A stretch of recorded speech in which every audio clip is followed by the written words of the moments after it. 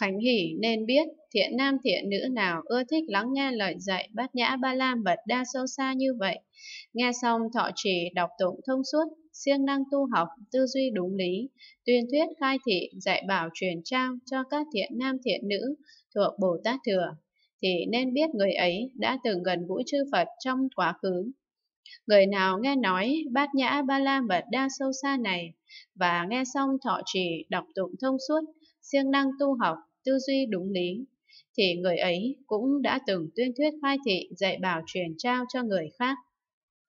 Khánh Hỷ nên biết, thiện nam thiện nữ này đã từng trồng các căn lành ở vô số cõi Phật trong quá khứ, cho nên đời này họ có thể làm được việc này thiện nam thiện nữ này liền nghĩ, trước đây ta không theo thanh văn độc giác, chỉ nghe nói bát nhã ba la mật đa sâu xa này, mà quyết chỉ theo như lai ứng tránh đẳng giác, để nghe dạy bát nhã ba la mật đa sâu xa như vậy. Trước đây, ta không trồng căn lành đối với thanh văn độc giác, mà quyết chỉ trồng các căn lành đối với như lai ứng tránh đẳng giác. Nhờ nhân duyên đó, ngày nay ta được nghe bát nhã ba la mật đa sâu xa này,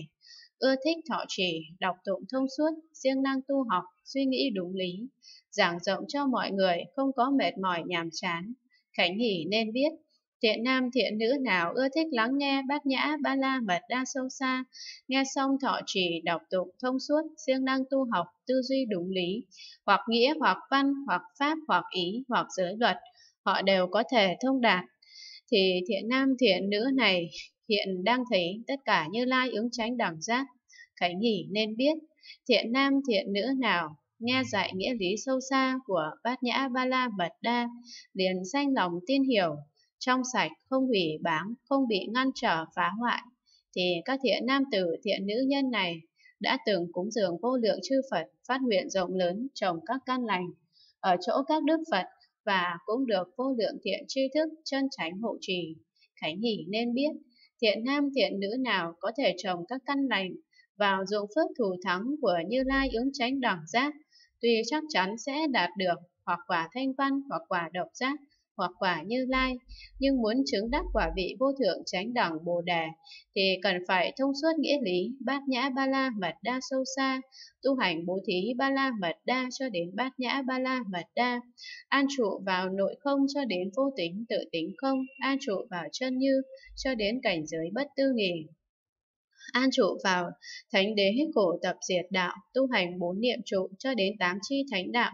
tu hành bốn tịnh lự, bốn vô lượng, bốn định vô sắc, tu hành tám giải thoát cho đến 10 biến xứ, tu hành pháp môn giải thoát không, pháp môn giải thoát vô tướng vô nguyện, tu hành cực hỷ địa cho đến pháp vân địa, tu hành pháp môn đà la ni, pháp môn tam ma địa, tu hành năm loại mắt, sáu phép thần thông, tu hành mười lực như lai cho đến 18 pháp Phật bất cộng, tu hành pháp không quên mất, tánh luôn luôn xả, tu hành trí nhất thiết, trí đạo tướng, trí nhất thiết tướng, làm cho được viên mãn. Cảnh hỷ nên biết, Đại Bồ Tát nào khéo thông suốt nghĩa lý bát nhã ba la mật đa sâu xa, tu hành bố thí tịnh giới, an nhẫn, tinh tấn tịnh lự, bát nhã ba la mật đa, làm cho được viên mãn, như vậy cho đến tu hành trí nhất thiết, trí đạo tướng, trí nhất thiết tướng, làm cho được viên mãn. Đại Bồ Tát nào trụ ở địa vị thanh văn hoặc độc giác mà không chứng đắc quả vị vô thượng chánh đẳng Bồ Đề thì không có việc đó. Vì vậy, các Đại Bồ Tát nào muốn chứng quả vị vô thượng chánh đẳng Bồ Đề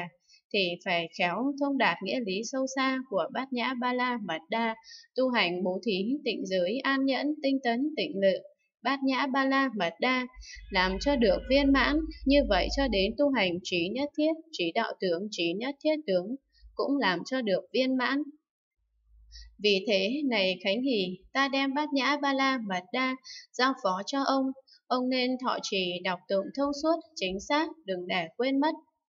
Khánh Hỷ nên biết, trừ kinh điển bát nhã ba la mật đa sâu xa này, nếu ai thọ trì các kinh khác mà ta đã giảng dạy, Giả sử họ có quên mất thì tội ấy còn nhẹ, nhưng đối với kinh điển bát nhã ba la mật đa này, nếu không thọ trì trọn vẹn cho đến quên mất một câu thì tội ấy rất nặng. Khánh Hỷ nên biết, đối với kinh điển bát nhã ba la mật đa sâu xa, người nào có thể thọ trì cho đến một câu không để quên mất thì thu được vô lượng phước đức. Còn nếu đối với kinh điển Bát Nhã Ba La Mật Đa sâu xa, người nào không thọ trì trọn vẹn, cho đến quên mất một câu thì mắc tội rất nặng, ngang với phước nói trước.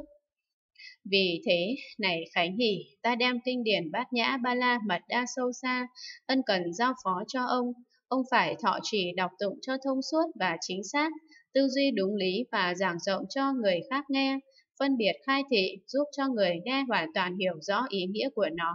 để họ có thể diễn giải đúng lý cho người khác nghe. Khánh Hỷ nên biết đối với kinh điển Bát Nhã Ba La Mật Đa sâu xa,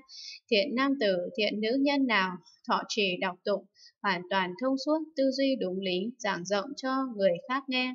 thì chính là thọ trì nắm giữ quả vị vô thượng chánh đẳng Bồ Đề, mà tất cả các vị như lai ứng chánh đẳng giác trong quá khứ hiện tại vị lai đã chứng đắc. Khánh Hỷ nên biết thiện nam tử, thiện nữ nhân nào phát sanh tâm thanh tịnh hiện đến chỗ ta và muốn dâng đủ loại vòng hoa vi diệu, hương xoa hương bột, y phục, anh lạc tràng phan lọng báu, âm nhạc, đèn sáng cúng dường, cung kính, tôn trọng khen ngợi không hề nhàm chán mệt mỏi, thì đối với kinh điển bát nhã ba la mật đa sâu xa, người ấy phải hết lòng lắng nghe, thọ trì đọc tụng, hoàn toàn thông suốt, tư duy đúng lý, giảng rộng cho người khác, hoặc lại biên chép, trang điểm bằng châu báu, thường dùng đủ lại vòng hoa vi diệu, hương xoa hương bột, y phục anh lạc tràng phan lọng báu, âm nhạc đèn sáng để cúng dường, cung kính, tôn trọng khen ngợi, không được biếng nhác. Cảnh hỷ nên biết, thiện nam tử, thiện nữ nhân nào, cúng dường cung kính, tôn trọng, ca ngợi bát nhã ba la mật đa sâu xa, thì chính là cúng dường cung kính, tôn trọng ca ngợi ta, cũng là cúng dường cung kính, tôn trọng ca ngợi, tất cả như lai ứng tránh đẳng giác, hiện đang thuyết pháp ở mười phương thế giới và cũng là cúng dường cung kính, tôn trọng ca ngợi chư Phật ở quá khứ vị lai. Khánh Hỷ nên biết, thiện nam tử, thiện nữ nhân nào, nghe nói bát nhã ba la mật đa sâu xa như vậy, phát sanh lòng tin trong sạch, cung kính tôn trọng, thì chính là đem lòng tin trong sạch, cung kính tôn trọng quả vị vô thượng chánh đẳng Bồ Đề, mà tất cả Như Lai ứng chánh đẳng giác trong quá khứ vị lai hiện tại đã chứng đắc. Khánh hỷ, nếu người cung kính tôn trọng và tin tưởng ở ta, thì phải trí thành tha thiết, cung kính tôn trọng tin tưởng ở bát nhã ba la mật đa, cho đến một câu cũng đừng để quên mất. Khánh hỷ việc giao phó bát nhã ba la mật đa sâu xa này cho các ông, tuy có vô lượng lý do, nhưng ta chỉ nói tóm gọn như ta đã là đại sư của các ông thì phải biết bát nhã ba la mật đa sâu xa cũng là đại sư của các ông. Nếu các ông cùng trời người cung kính tôn trọng ta thì cũng phải cung kính tôn trọng bát nhã ba la mật đa sâu xa. Vì vậy, này Khánh Hỷ, ta dùng vô số phương tiện thiện xảo, giao phó kinh điển bát nhã ba la mật đa sâu xa cho ông. Ông phải thọ trì đừng để quên mất, nay ở trước trời người Atula, và vô số đại chúng, ta đem bát nhã ba la mật đa sâu xa này giao phó cho ông. Khánh Hỷ, nay ta nói thật với ông, các hữu tình có lòng tin trong sạch, muốn không xả bỏ Phật, không xả bỏ Pháp, không xả bỏ Tăng, lại muốn không xả bỏ quả vị vô thượng chánh đẳng Bồ Đề, mà chư Phật đời quá khứ vị la hiện tại đã chứng đắc, thì cần phải không xả bỏ bát nhã ba la mật đa sâu xa. Đó chính là pháp mà chư Phật chúng tôi dạy dỗ truyền trao cho các đệ tử. Khánh Hỷ nên biết, thiện nam thiện nữ nào ưa thích lắng nghe bát nhã ba la mật đa sâu xa, thọ trì đọc tụng hoàn toàn thông suốt, tư duy đúng lý, đem vô lượng pháp môn giảng rộng cho người khác, phân biệt, khai thị, chỉ bày, an lập giúp họ hiểu rõ và siêng năng tu học thì thiện nam thiện nữ này mau chứng quả vị vô thượng chánh đẳng bồ đề và gần được viên mãn trí nhất thiết trí. Vì sao Khánh Hỷ, quả vị vô thượng chánh đẳng bồ đề mà tất cả như lai ứng chánh đẳng giác đã chứng đắc đều dựa vào bát nhã ba la mật đa sâu xa này mà được thành tựu. Khánh Hỷ nên biết chư Phật đời quá khứ vị la hiện tại đều dựa vào bát nhã ba la mật đa sâu xa này để thành tựu quả vị vô thượng chánh đẳng Bồ Đề. Vì thế này Khánh Hỷ, Đại Bồ Tát nào muốn chứng đắc quả vị vô thượng chánh đẳng Bồ Đề thì cần phải siêng năng tu học bát nhã ba la mật đa sâu xa này. Vì sao? Khánh Hỷ, bát nhã ba la mật đa sâu xa là mẹ của các đại Bồ Tát vì đã sanh ra các vị đại Bồ Tát. Khánh Hỷ nên biết Đại Bồ Tát nào siêng năng tu học bố thí, tịnh giới, an nhẫn, tinh tấn, tịnh lự, bát nhã, ba la, mật đa, thì mau chứng quả vị vô thượng chánh đẳng Bồ Đề. Vì thế này Khánh Hỷ, ta đem sáu pháp ba la mật đa giao phó cho ông, ông phải thọ trì cho đúng, đừng để quên mất. Vì sao? Vì sáu pháp ba la mật đa này là kho pháp vô tận của các vị như lai ứng tránh đẳng giác, tất cả Phật pháp đều được sanh ra từ nơi đó. Khánh Hỷ nên biết, pháp yếu mà chư Phật đời hiện tại quá khứ vị lai đã nói, đều được lưu xuất từ kho pháp vô tận là sáu pháp ba la mật đa. Khánh Hỷ nên biết, chư Phật đời quá khứ hiện tại và vị lai đều nương vào kho pháp vô tận, là dựa vào sáu pháp ba la mật đa để chứng đắc quả vị vô thượng chánh đẳng Bồ Đề. Khánh Hỷ nên biết chư Phật và chúng thanh văn đời hiện tại quá khứ vị lai đều dựa vào kho pháp vô tận, là sáu pháp ba la mật đa siêng năng tu học mới nhập diệt vào cõi vô dư y diệu niết bàn. Lại nữa Khánh Hỷ, giả sử các ông nói Pháp Thanh Văn cho các chúng sanh thuộc Thanh Văn Thừa, và nhờ Pháp này mà tất cả hữu tình ở ba ngàn đại thiên thế giới đều chứng quả A-la-hán, thì chưa phải là vì ta mà làm những việc đệ tử Phật cần làm. Nếu các ông có thể giảng nói một câu pháp tương ưng với bát nhã ba la mật đa cho các chúng sanh thuộc Bồ Tát Thừa nghe, thì mới chính là vì ta mà làm công việc người đệ tử Phật cần làm. Và ta rất tùy hỷ đối với việc này, hơn là việc các ông giáo hóa tất cả hữu tình trong ba ngàn đại thiên thế giới, để cho họ đều đắc quả A-la-hán.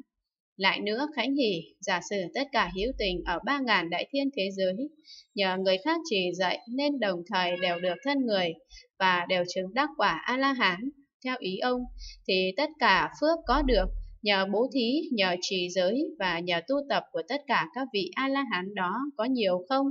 Khánh Hỷ thưa, rất nhiều thưa Thế Tôn, phước nghiệp ấy là vô lượng vô số. Phật bảo Khánh Hỷ, nếu có đệ tử thanh văn nào có thể vì Đại Bồ Tát giảng nói pháp tương ưng với bát nhã ba la mật đa sâu xa, trải qua một ngày đêm, thì thu được lượng phước đức nhiều hơn phước kia rất nhiều. Khánh Hỷ nên biết không cần đến một ngày đêm, chỉ cần một ngày, lại không cần đến một ngày, chỉ cần nửa ngày, lại không cần đến nửa ngày, chỉ cần một giờ, lại không cần đến một giờ, chỉ cần qua một bữa ăn, lại không cần đến một bữa ăn, chỉ cần trong chốc lát, lại không cần đến trong chốc lát, chỉ cần trong khoảnh khắc, lại không cần đến trong khoảnh khắc, chỉ cần trong nháy mắt. Thanh văn nào có thể giảng nói pháp tương ưng với bát nhã ba la mật đa cho các đại Bồ Tát nghe thì thu được một lượng phước đức lớn hơn phước đức trước rất nhiều. Vì sao? Vì phước đức mà thanh văn này thu được hơn hẳn công đức của tất cả thanh văn độc giác. Lại nữa Khánh Hỷ nếu Đại Bồ Tát giảng nói Pháp Thanh Văn cho các chúng sanh thuộc Thanh Văn Thừa, giả sử nhờ Pháp này tất cả hữu tình trong ba ngàn đại thiên thế giới đều chứng đắc quả A-la-hán, đều đầy đủ các loại công đức thù thắng, thì theo ý ông, nhờ nhân duyên này Đại Bồ Tát đó thu được nhiều phước đức không? Khánh Hỷ thưa, rất nhiều thưa Thế Tôn, phước đức mà Đại Bồ Tát này thu được là vô lượng vô biên, Phật bảo Khánh Hỷ. Đại Bồ Tát nào giảng nói Pháp tương ưng với bát nhã ba la mật đa sâu xa cho các thiện nam thiện nữ thuộc thanh văn thừa, độc giác thừa hoặc vô thượng thừa suốt một ngày đêm thì thu được lượng phước đức hơn phước nói ở trước rất nhiều. Khánh Hỷ nên biết không cần đến một ngày đêm chỉ cần một ngày, không cần đến một ngày chỉ cần nửa ngày, lại không cần đến nửa ngày chỉ cần một giờ, lại không cần đến một giờ chỉ cần trong khoảng một bữa ăn, lại không cần đến khoảng thời gian một bữa ăn chỉ cần trong chốc lát, lại không cần trong chốc lát chỉ cần trong khoảnh khắc, lại không cần trong khoảnh khắc chỉ cần trong nháy mắt. Đại Bồ Tát này có thể giảng nói Pháp tương ưng với bát nhã ba la mật đa sâu xa cho các thiện nam thiện nữ thuộc ba thừa, thì thu được phước đức hơn phước đức trước vô lượng vô số. Vì sao? Vì Pháp thí tương ưng với bát nhã ba la mật đa hơn hẳn tất cả Pháp thí tương ưng với thanh văn độc giác và các công đức của nhị thừa. Vì sao? Vì Đại Bồ Tát này từ cầu quả vị vô thượng chánh đẳng Bồ Đề, cũng đem pháp tương ưng với Đại Thừa để khai thị, dạy dỗ và khích lệ, giúp các hiếu tình không còn thối lui đối với quả vị vô thượng chánh đẳng Bồ Đề. Hãnh hỷ nên biết, Đại Bồ Tát này tự tu bố thí ba la mật đa, cho đến bát nhã ba la mật đa, cũng dạy người khác tu bố thí ba la mật đa cho đến bát nhã ba la mật đa, tự tu bốn niệm trụ cho đến tám chi thánh đạo, cũng dạy người khác tu bốn niệm trụ cho đến tám chi thánh đạo, tự an trụ vào nội không cho đến vô tính tự tính không, cũng dạy người khác trụ vào nội không cho đến vô tính tự tính không, tự an trụ vào chân như cho đến cảnh giới bất tư nghì, cũng dạy người khác an trụ vào chân như cho đến cảnh giới bất tư nghì. Tự an trụ vào thánh đế khổ tập diệt đạo, cũng dạy người khác an trụ vào thánh đế khổ tập diệt đạo. Tự tu bốn tịnh lự, bốn vô lượng, bốn định vô sắc, cũng dạy người khác tu bốn tịnh lự, bốn vô lượng, bốn định vô sắc. Tự tu tám giải thoát cho đến 10 biến xứ, cũng dạy người khác tu tám giải thoát cho đến 10 biến xứ. Tự tu pháp môn giải thoát không vô tướng vô nguyện, cũng dạy người khác tu pháp môn giải thoát không vô tướng vô nguyện. Tự tu bồ đề địa, cũng dạy người khác tu bồ đề địa. Tự tu tất cả pháp môn đà la ni, pháp môn tam ma địa, cũng dạy người khác tu tất cả pháp môn đà la ni, pháp môn tam ma địa. Tự tu năm lại mắt, sáu phép thần thông, cũng dạy người khác tu năm lại mắt, sáu phép thần thông. Tự tu mười lực như lai cho đến 18 pháp Phật bất cộng, cũng dạy người khác tu 10 lực như lai cho đến 18 pháp Phật bất cộng, tự tu 32 tướng đại sĩ và 80 vẻ đẹp, cũng dạy người khác tu 32 tướng đại sĩ và 80 vẻ đẹp. Tự tu pháp không quên mất, tánh luôn luôn xả, cũng dạy người khác tu pháp không quên mất, tánh luôn luôn xả. Tự tu trí nhất thiết, trí đạo tướng, trí nhất thiết tướng, cũng dạy người khác tu trí nhất thiết, trí đạo tướng, trí nhất thiết tướng. Tự tu tất cả các hạnh của Đại Bồ Tát, cũng dạy người khác tu tất cả các hạnh của Đại Bồ Tát, tự tu quả vị vô thượng chánh đẳng Bồ Đề của chư Phật, cũng dạy người khác tu quả vị vô thượng chánh đẳng Bồ Đề của chư Phật. Tự tu trí nhất thiết trí, cũng dạy người khác tu trí nhất thiết trí. Nhờ nhân duyên này, căn lành tăng trưởng, và không thể có việc người ấy bị thối chuyển đối với quả vị vô thượng chánh đẳng Bồ Đề. Bấy giờ bốn chúng vây quanh Như Lai, Ngài, khen ngợi bát nhã ba la mật đa và giao phó cho Khánh Hỷ. Sau khi tôn giả Khánh Hỷ thọ trì trước tất cả hội chúng lớn, trời rồng dạ xoa cho đến nhân và phi nhân, Như Lai hiện năng lực thần thông khiến cho họ đều thấy ở cõi nước trang nghiêm ấy, Thanh Văn Bồ Tát đang vây quanh Đức Như Lai bất động, nghe Ngài giảng nói Pháp vi diệu. Chúng thanh văn tăng ở cõi ấy đều là A-la-hán, đã hết lậu hoặc không còn phiền não, được thật sự tự tại, tâm hoàn toàn giải thoát, giống như ngựa hay đã được điều phục hoặc như rồng lớn đã làm việc cần làm, đã hoàn tất việc cần hoàn tất, bỏ các gánh nặng xuống, đạt được tự lợi dứt sạch các kiết sử, tránh trí giải thoát, tâm được tự tại, rốt giáo bậc nhất, chúng Bồ Tát Tăng ở cõi ấy đều thấy suốt đạt được Đà La Ni và có công đức trí huệ biện tài vô ngại, giống như biển lớn. Sau đó Thế Tôn liền thu thần lực lại, làm cho cả hội chúng trời rồng dạ xoa cho đến nhân và phi nhân, không còn thấy Như Lai bất động cùng Thanh Văn Bồ Tát và các đại chúng khác ở cõi Phật trang nghiêm kia. Vì chúng hội và cõi nước trang nghiêm của Đức Phật ấy chẳng phải là đối tượng của nhãn căn ở cõi này, vì sao? Vì Phật thu thần lực nên không còn duyên để thấy viễn cảnh ấy nữa. Khi ấy, Phật bảo cụ thọ khánh nghỉ. Ông có còn thấy cõi nước và chúng hội của Như Lai bất động ứng tránh đẳng giác không? Khánh nghỉ đáp, con không còn thấy vì việc ấy chẳng phải là đối tượng của con mắt này.